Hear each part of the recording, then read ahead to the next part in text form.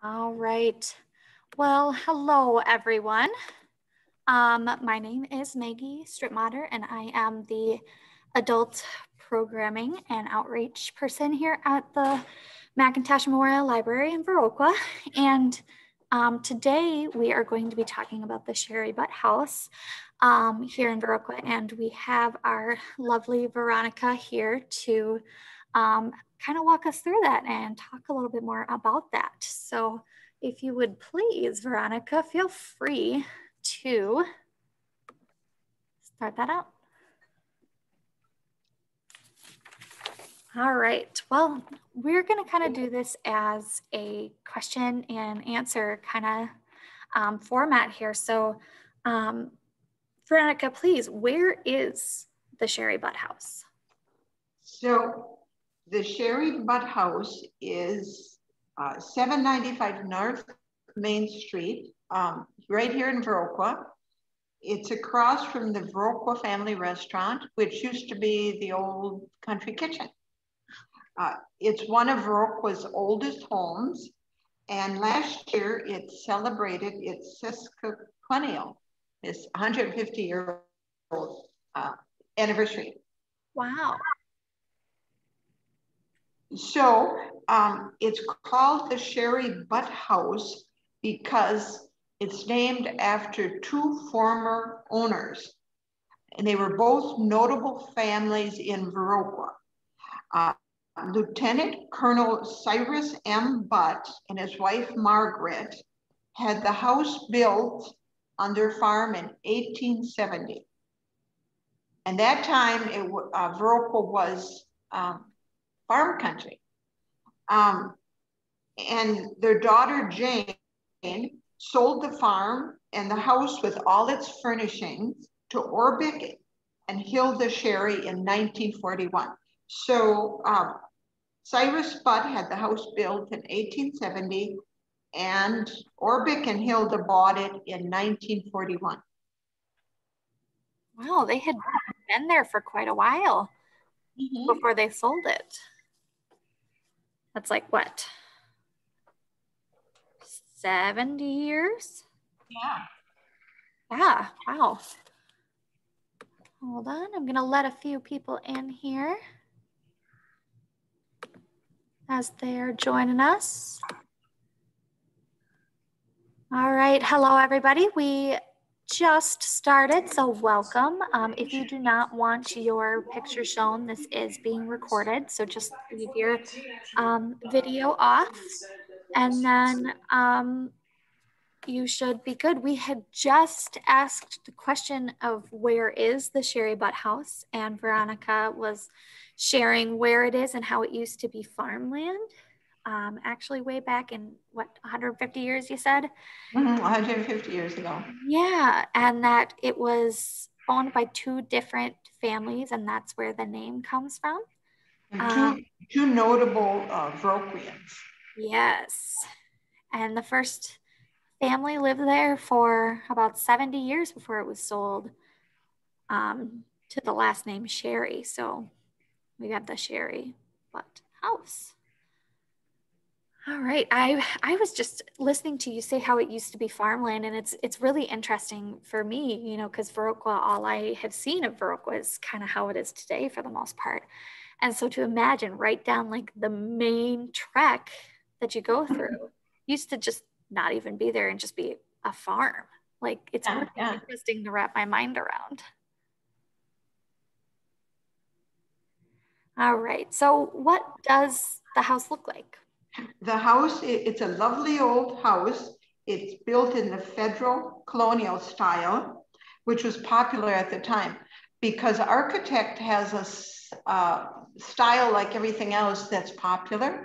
And at that time, um, the United States had become a country in 1776, and people who could afford an architect wanted their houses built in a style that resembled the classic styles of Greece and Rome, which were considered the birthplace of democracy and liberty.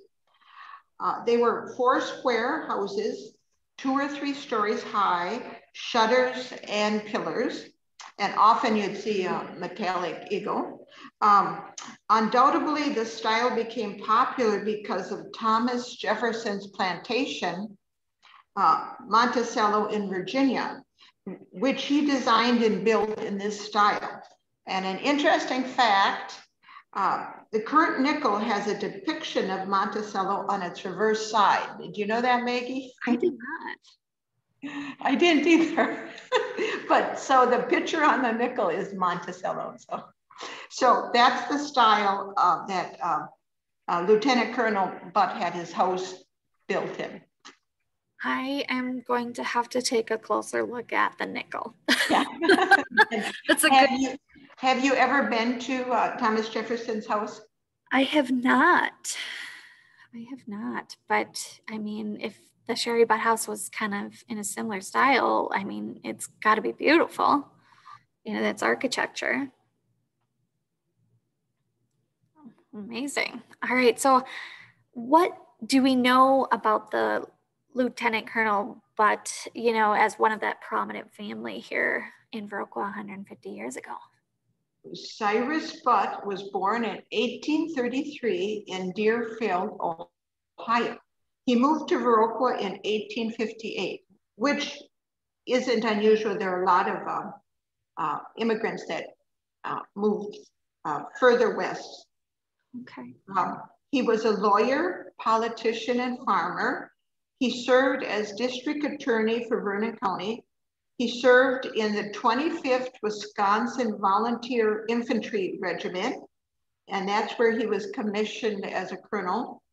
In addition, he was very active in the community. He was on the village board of Viroqua. He was on the school board, and he was on the board of the local county asylum. Also, he was a state senator from 1860 to 1869. After serving in the Civil War, he came and he built his home here and children. So after the war, um, he was a lawyer and he was known for his public service. Uh, people said he was a progressive thinker at, for the time, and he was a step ahead of his time. He died at home in 1921 from a stroke. And after his and his wife's death, the house was left to his daughter, Jane. Wow, he did a lot. yes, there, I think the early settlers had to, though. I don't think there was a whole lot of people whose who had the time to step up.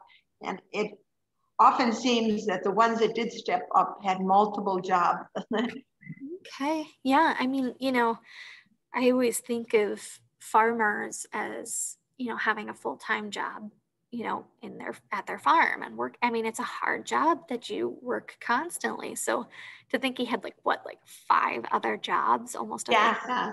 but of course after your children uh, get old enough to help i mean that really helps with the labor so and then you can pursue your other interests so. very true yes. Yeah wow. Well so then there's the second family after Jane had um, sold the place. So where do the Orbeck and Hilda uh, Sherry enter the story? Orbeck was born in 1896 in a log cabin, and his parents were immigrants. Uh, they had built the cabin in 1880, so they were immigrants from Norway. He was one of 11 children. So he went to school only up to the up eighth grade, and then he had to help on the farm. But uh, in 1917, he enlisted in the military, and he served in World War One. He married Margaret in 1922, and they purchased his family's farm, which was southwest of Viroqua. They had a herd of 25 cows. So Margaret milked the cows by hand and when Orbeck was gone on business, uh, he was a cattle dealer. Uh, she often hauled the milk. She milked the cows and hauled the milk to the Viroqua Co-op Creamery behind a team of horses. So she was quite the quite the um, immigrant wife. Very strong woman. Um, Orbeck always dreamed of having a registered herd of cows because he had a mixed herd when he got started And he was so determined to have registered brown Swiss that he, in 1924, he purchased his first two registered cattle. And so began the legend of Jane of Vernon. So Orbic Sherry is known internationally for being the breeder of um, Jane of Vernon, uh, the, the very top brown Swiss cows. So uh, you know what brown Swiss cows look like, Maggie? I do, yes. Aren't they lovely with their big eyes? They are. Yeah, I always, my husband milked, um, and I milked uh, uh, Holsteins for years and years, but I always wanted brown Swiss. They were such pretty cows. Yes. So um, Orbic and uh, Margaret had two children, um, or I'm sorry, Hilda, uh, Mary and Orbic Jr.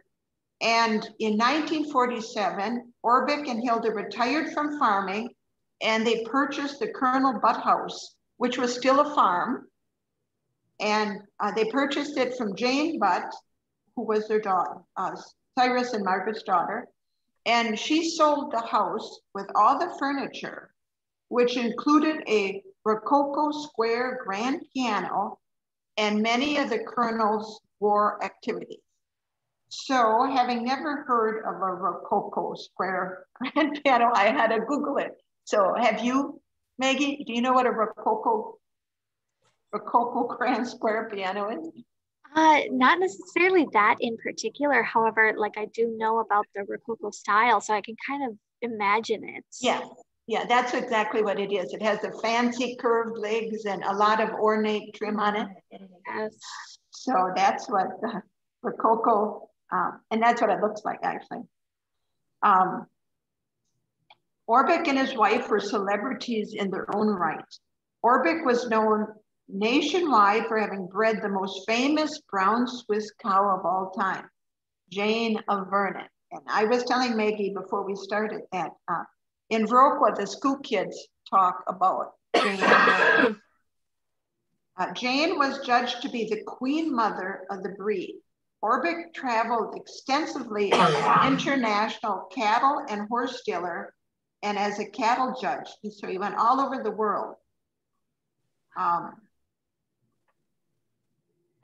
Hilda was very active in the community.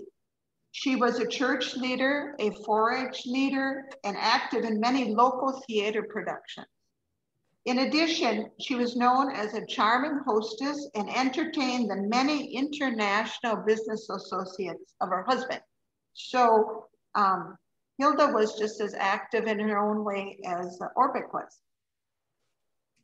Orbic loved horses. They were his hobby.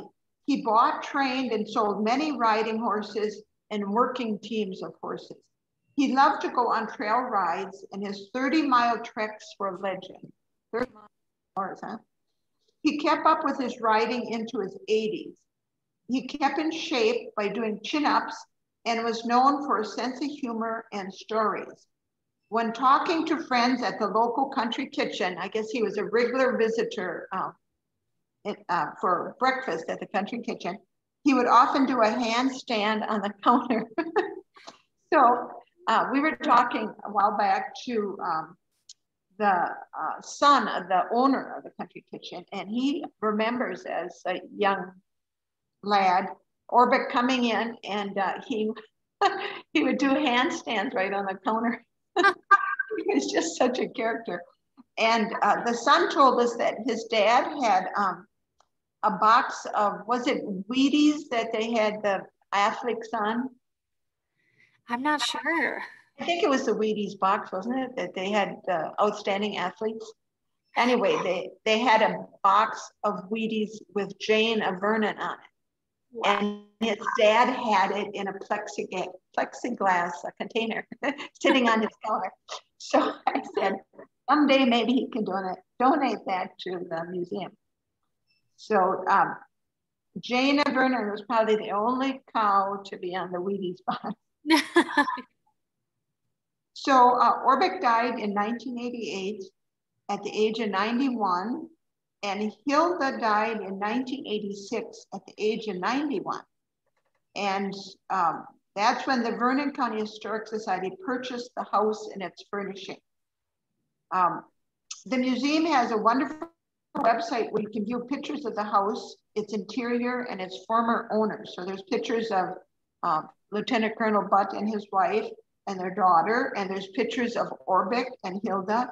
And of course, there's a bunch of pictures of Jane and Vernon, the most famous Brown Swiss cow of. Yeah, so since Jane had originally sold the house with all of its furniture, and then the county museum bought it after um, and his wife passed. Does that mean that all of that furniture, well, most of that furniture is original to when the yes. house? Mm-hmm. So if you tour the house, um, yeah, a lot of the furniture is from uh, when Lieutenant Colonel Butt lived there and his wife. So, and so, uh, is that piano there? Yes, and um, the uh, Lieutenant Colonel Butt had a lot of Civil War mementos Okay. And those are framed and on the walls also. So, and of course, Orbeck had a lot of uh, uh, certificates uh, concerning Jane of Vernon. Those are also on the walls. So, oh. yeah, it's quite a quite an interesting tour. Yeah, how special that like they still have most, if not all, of the original furniture. I mean, there's not many cases, you know, where that's really true or, or they have to, you know, make replicas of what it would have looked like. But mm-hmm. yeah, they have to special. search around for that. Yeah, but uh, they yeah. just stayed in the house and now uh, they can give tours of what it looked like, you know, in the early 1900s. So then when is the house open for tours? So the house is open every summer weekend okay. from Memorial Weekend through Labor Day weekend. So it's open now. It is open from 1 to 5, Saturday and Sunday. Uh, admission is $5. It's free for children under nine. Actually, they should charge children under nine and let the older kids in free.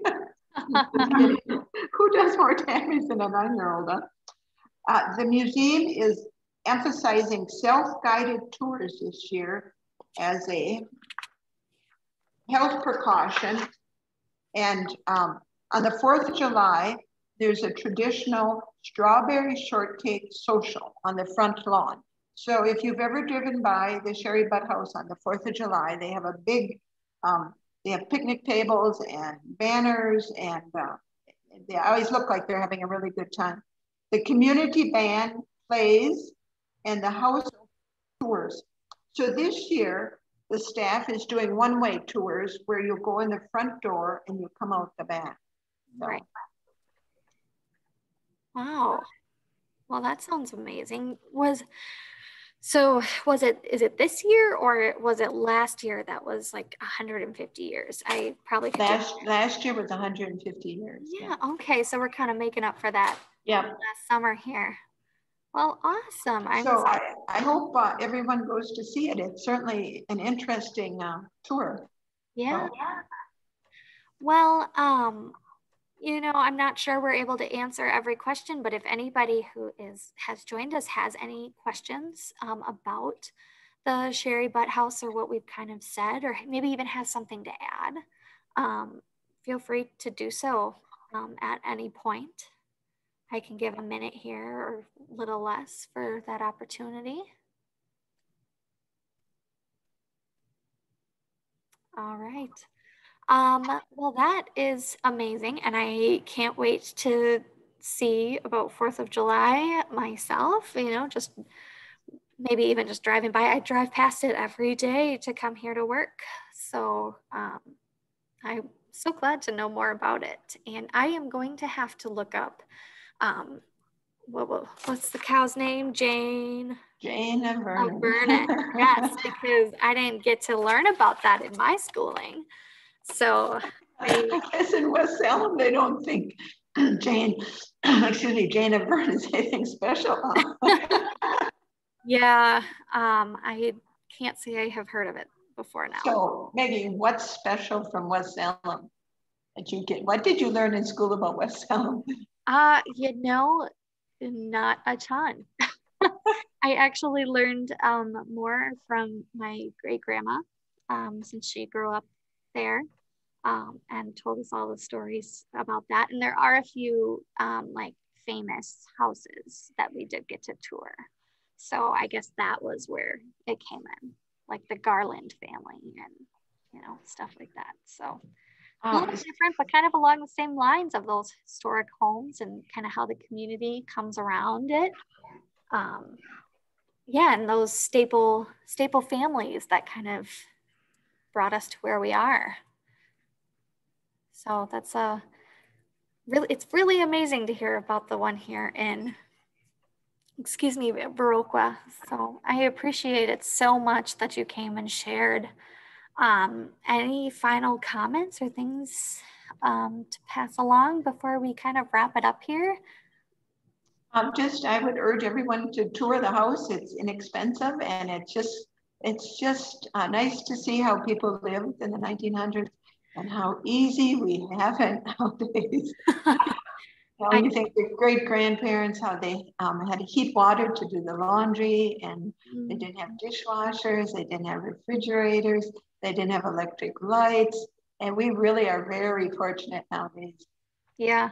I mean, I I love animals, but I'm I'm not a farmer at heart. So hearing how it was Hilda had milked the cows, carried the pails, then had to like do all the work to get it to the creamery. Like, I am glad I can go to the store and just buy milk.